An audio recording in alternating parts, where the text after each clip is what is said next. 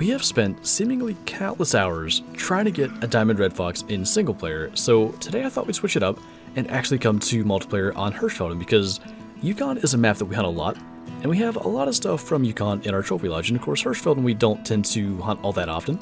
So I thought if we're going to hunt Red Fox anyway, we might as well be on a map where we could stumble into something else for the Lodge that would be a little bit different. And we'll kind of see what we can find out here on a map that we really don't hunt all that often.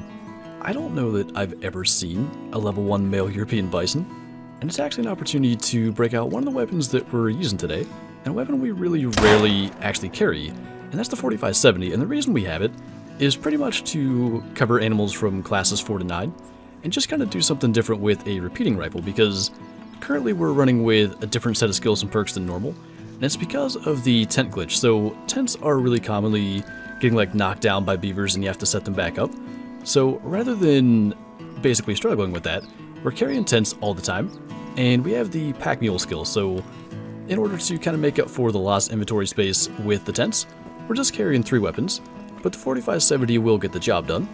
And I mean, it's not going in the main lodge, but I would definitely say a Hall of Shame kill for sure. Just tiny little horns on that level 1 bronze.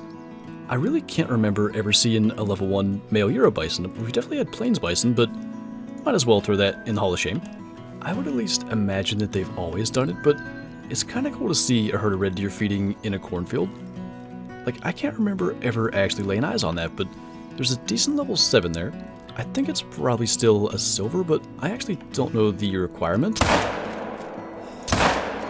We must have hit a hind or something in front of him. Luckily, we still got him. We may require Rocky's assistance to go and find whichever other one we hit. That is really cool, though. You can see the antlers sticking up in the cornfield and everything. I actually don't see one running off as if it's hit poorly, so I'm not sure what happened, but we might get to figure it out. There's also apparently more red deer down that way. We definitely hit two of them. This one is just a hind. I didn't even see it there, and I guess that's the one negative of hunting them in the cornfields, but our stag's down here. I do want to see if he can make gold, because it's a good looking level 7. I like that kind of bare bones frame. It doesn't have the super crazy mass that most of the 7s do, and it is actually a gold at 183. So gold's 182, he barely made it. Pretty good looking stag though. And from the hunting pressure it looked like only the stag went down. So we may kind of just head off and forget about the hind. Just because red deer feed time only lasts so long, and it's going to have us like out in the fields where, at least kind of up here in the Hirschfelden region, as far as I know, Red Fox do kind of rest right in or near the field, so it might be a good spot to actually be in. Actually, right as I was saying that, I think the hind did go down, so just honestly out of curiosity, I do want to try to find it then. We'll get Rocky on the trail. Hopefully it didn't go too far. The fact that it took so long to go down probably means that it was just hanging with the herd. And I'd say that was probably the case, because just on the bottom right of the hunter mate there, you can still see the hunting pressure. And then where actually did we hit it? Kind of like right in the front of the neck. We were really close to just insta-dropping it, but I really don't remember even seeing one there. It must have been visible, because if its head was up, there's no way that we couldn't have seen it to go for like a shoulder shot on the level 7, but that was not the way that was meant to go, but we got a bonus kill out of it at the end. This has really been one of the slowest hunts we've had in recent memory, but at least we have a couple of wild boar out here. And that one's kind of giving us a shot. I'm really not sure with the 4570 because it's going to be a little bit like slower moving. Might have gotten that about where we wanted it. He's starting to go down, so I'm not too sure. But he's a similar estimate to the black gold we shot over there on Medved. And that one made gold, so I figure we might as well go for that. We do have a max estimate fallow track. I'm not even sure. But I think on Hirschfelden at 1500 they'd be resting so it might not be much fun to actually find him. I'm sure he's not exactly out in the open. But we may go and look for that, because with the hunt going so slowly, we might as well take the opportunity to track something that might be good size. And who knows, if it's leading us out of the open, it might lead us more into areas where like other things such as Red Fox might be resting. By the way, that was a non-vital organ hit, so even if this guy is big enough to make gold, we're not going to get that out of him. And it was just a little silver anyway at 92, but yeah, you can see that slower moving round kind of effect there, where we're that far back despite leading him as much as we did.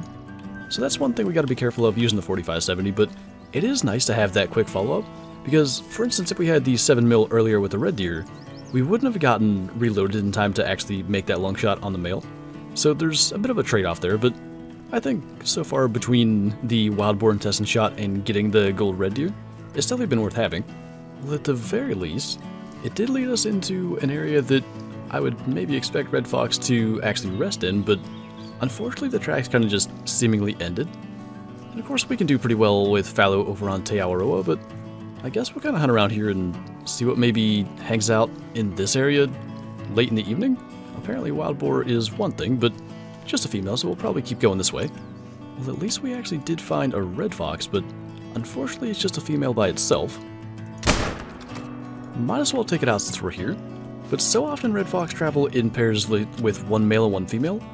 But when we finally find one, it's just going to be a solo female, but it's good to at least see one. We know we're in an area that we can find them then. But I guess maybe it could be considered a bit of target practice should we actually run into a good one. Nice to make a hard shot there. There's no way that's the same fallow deer, but a max weight estimate level 4, it's about 200 meters out, which is kind of going to go back to that same thing earlier with the slower moving round of the 4570. Plus we have to aim a little high. Not sure if that was neck or heart, but I'd say that was about the right place to go for that shot. Definitely vital blood. I'm not sure if that really matters though. I think neck, brain, or like lungs and heart would be vital blood. But it was actually just straight double lung. I'm surprised at that range it dropped it. I know the 4570 is a big caliber, but oddly enough, it doesn't show that it went through the lungs, and the angle it's kind of showing it almost looks like it would miss the far side lung, but it's a 174, so just barely a gold. But nice to actually get a gold fallow after having a good sized track earlier. Well, it's not exactly Hall of Shame worthy, but that is not exactly the red deer I was hoping to see coming out here during red deer drink time. And he must have actually spooked. We can go ahead and hit him with the 4570. And I just wanted to kind of come through here a little bit away from the water.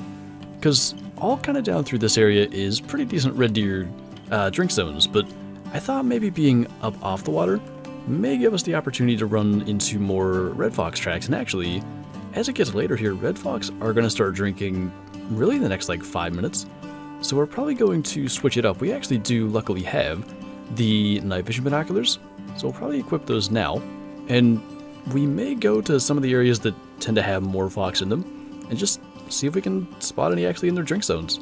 But at least we managed to get that guy brought down pretty quickly, and I'm not too sure where the best place to actually look for red fox drinking is, but I'm kind of thinking maybe some of these lakes down in here, and also probably these as well in Jonsdorf. So maybe that's where we'll go since we're near there, and at least kind of start our search in that area. I want to say this is the first male fox we've seen the entire hunt, and of course it is just a level 5. It actually looks oddly pale next to that female, but I think if it was albino it would be a little more obvious. And yeah, it's definitely like an orange color. So, we'll go ahead and bring him down. It took getting to Red Fox string Time just to find a male, but maybe if we can continue down this trail we can actually find some better ones. I actually find it kind of odd that it looks so pale at a distance, because it's a darker common fur type for them. There is like a darker male still, but it must have been an especially dark female. I actually want to check. Where is the track from the female that was here, just in case it would have been like a melanistic? Should be this, and she is a common, so just had to check in case. I really can't imagine why, but even during their drink time, it just seems like red fox are basically non-existent on this map right now.